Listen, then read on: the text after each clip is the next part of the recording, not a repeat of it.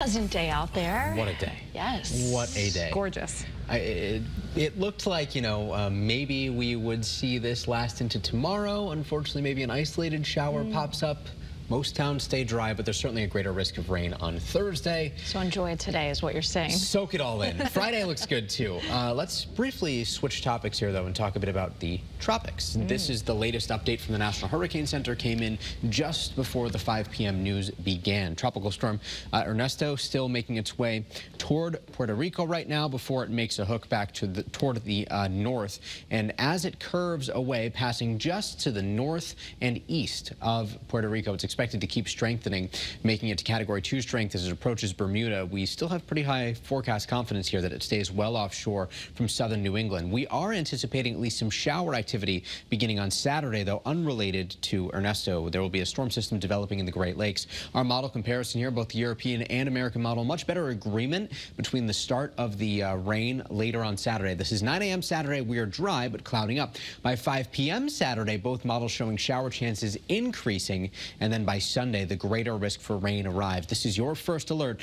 to some wet weather, especially focused on the second half of the weekend. It is gorgeous right now, though. The view on our iCam in New London showing blue skies overhead, 73 degrees. Here's the view on our iCam in Windsor Locks. We have some fair weather clouds overhead here at Bradley International, 84 right now. Winds are out of the north at 7 miles per hour. And most towns are in the upper 70s and lower 80s, with the exception of the northern end of the Connecticut River Valley, which has actually jumped up into the mid 80s, some mid 70s being reported in southeastern Connecticut too along the shoreline. We'll watch temperatures fall into the lower 70s after the sun sets, likely by 9 o'clock tonight. Great day for yard work tomorrow, at least through the first half of the day. Very bright out there, still very comfortable. Temperatures up into the lower 80s by lunchtime.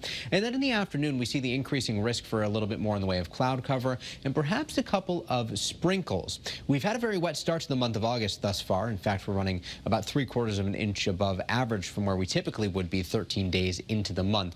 Here's First Alert Futurecast at noon tomorrow, still bright, but as we get into the afternoon, see these little specks of green, just some sprinkles popping up. Most towns stay dry. By Thursday, it's looking a bit more active. Uh, could be dealing with scattered showers, especially Thursday afternoon. If you're planning to be out and about on Thursday, you can always track those with the free WFSB weather app.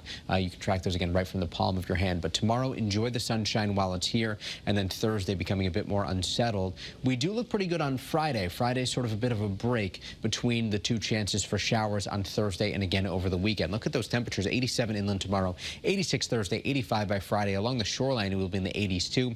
Overnight lows after tonight back up into the 60s. 75 to 80 on Saturday, becoming a bit muggier with showers likely in the afternoon and evening. Sunday, we are muggy and unsettled. Highs only in the 70s, a risk for showers and thunderstorms. Staying muggy and unsettled into the start of next week. Perhaps an isolated shower lingers into Tuesday.